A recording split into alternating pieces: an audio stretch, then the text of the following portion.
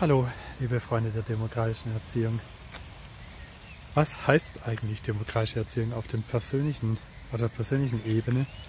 Da erzähle ich euch eine kleine Anekdote und zwar jetzt an dem verlängerten Maiwochenende. Da äh, war meine älteste Tochter gerade nicht bei mir, die war da bei ihrer Mutter. Dann habe ich ihr einfach spontan auf WhatsApp drauf gesprochen, dass ich toll finde, wie sie sich entwickelt hat. Ja? Also nicht die Mutter, sondern die älteste Tochter.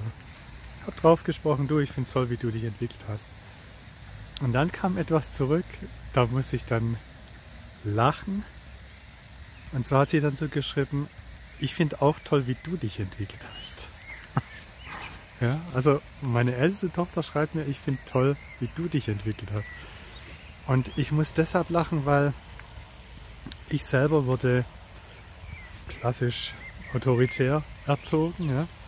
Ähm, autoritär heißt, du hast einen Vater ja, oder eine Mutter, die sind sozusagen gottgleiche Wesen, die, denen ihr Wort ist äh, Befehl.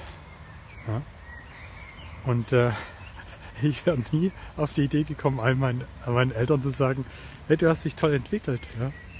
Aber genau weil ich diese Erfahrung gemacht habe in der Erziehung, war es mir wichtig, dass äh, meine Kinder für mich auch so eine Art Feedback-Schleife sind, ja? die, wenn ich irgendeinen Mist baue, die mir das dann auch sagen. Und äh, das steckt drin in diesem Satz, ja? dass ich meiner Tochter sage, ich finde es toll, wie du dich entwickelt hast. Und sie schreibt zurück, ich finde es auch toll, wie du dich entwickelt hast. Ja? Und äh, darum geht es doch. Es ist ja nicht so, dass nur Kinder von den Eltern lernen können, sondern Eltern können auch von den Kindern lernen. Das ist eine Feedback-Schleife. Und das hat viel mit Demokratie zu tun, weil im Austausch, in der Diskussion, auch im Streit um die eigene Position, ja, auch ein Kind muss ja sich in der Familie behaupten können gegen die Eltern. Das muss ein Kind auch lernen können mit den Eltern ein Kind muss mit den Eltern streiten können. Und zwar hart und scharf. Ja, und notfalls auch äh, laut und gemein. Ja, das gehört alles dazu, sich auszudrücken, sich zu verteidigen, zu behaupten, sich durchzusetzen.